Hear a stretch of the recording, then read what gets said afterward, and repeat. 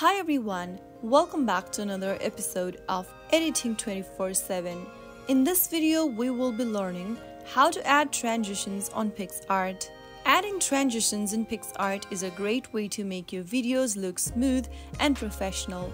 To add transitions on PicsArt, first of all open up the PicsArt application and sign into your account. Go ahead and tap on the plus button at the top left corner and select a video from your device's camera roll that you want to edit. After selecting a video clip or images you want to edit, you can now go ahead and add more videos to your timeline by tapping on the plus button on the right corner.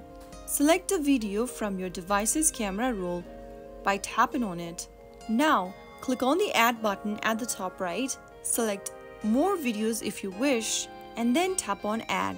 Now that you've added multiple videos on your editing screen, you can now go ahead and tap outside the video clip on the timeline and you will be able to see a little white icon right in between all the selected clips.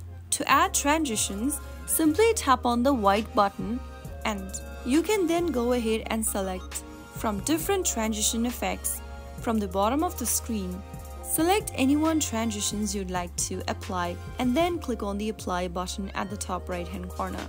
In order to apply the selected transition, tap on the apply button at the top right corner. Some of the transitions might require plus subscription, so if you ever go ahead and select a plus subscription option from the bottom, you'll only be able to apply the chosen effect if you are a plus or the premium subscriber.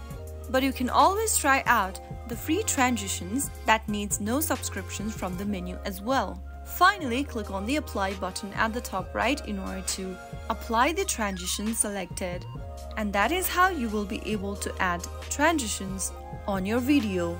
Go ahead and export your video like you normally do by tapping on the arrow at the top right corner and following the prompts. That is how you will be able to add transitions on PicsArt. If you found the video to be helpful, go ahead and give us a thumbs up. Don't forget to subscribe to our channel by hitting the subscribe button. Press on the bell icon so that you'll never miss another upcoming upload from us.